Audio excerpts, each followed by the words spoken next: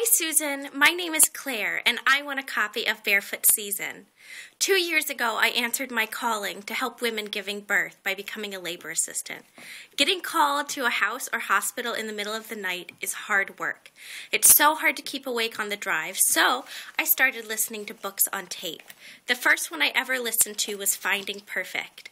The next birth, I had some downtime, so I looked on the Kindle and found out that you'd written an entire series about Fool's Gold.